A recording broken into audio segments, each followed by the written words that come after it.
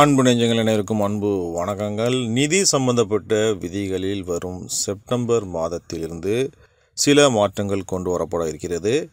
என்னென்ன மாற்றங்கள் அப்படிங்கிறத இந்த வீடியோவில் பார்க்க இருக்கிறோம். வீடியோக்குள்ளே போகிறதுக்கு முன்னாடி சேனலை நீங்கள் வரைக்கும் சப்ஸ்கிரைப் பண்ணால் பார்த்தீங்கன்னா மறக்காமல் சப்ஸ்கிரைப் பட்டனை ப்ரெஸ் பண்ணிட்டு பக்கத்தில் இருக்கிற பெல் பட்டனையும் தட்டி விட்டுருங்க. ஆக்சிஸ் வங்கியின் மேக்னஸ் கிரெடிட் கார்டின் ஆனுவல் ஃபீ உயர்த்தப்பட இருக்கிறது.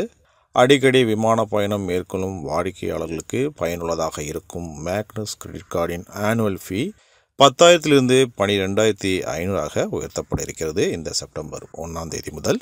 இரண்டாவதாக இரண்டாயிரம் ரூபாய் நோட்டுகள் மாற்ற செப்டம்பர் முப்பதாம் தேதி கடைசி நாள்.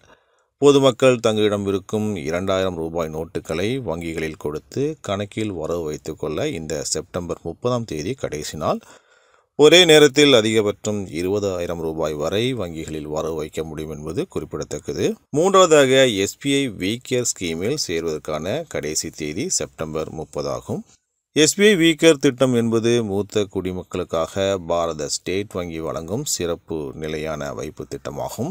இந்த திட்டத்தின் கீழ் மூத்த குடிமக்கள் ஐந்து ஆண்டுகள் மற்றும் அதற்கு மேற்பட்ட காலத்திற்கு ஏழு புள்ளி ஐந்து சதவீத வட்டி விகிதத்தை பெறலாம்.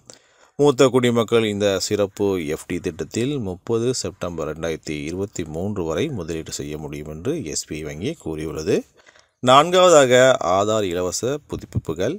இந்திய தனித்துவ அடையாள ஆணையம் செப்டம்பர் பதினான்கு இரண்டாயிரத்தி இருபத்தி மூன்றுக்கு பிறகு இலவச ஆதார் அட்டை புதுப்பிப்பை வழங்குவதை நிறுத்திவிடும். அதாவது இந்த தேதிக்கு பிறகு ஆதார் அட்டை புதுப்பிக்க விரும்பும் நபர்கள் ரூபாய் ஐம்பது கட்டணம் செலுத்த வேண்டும்.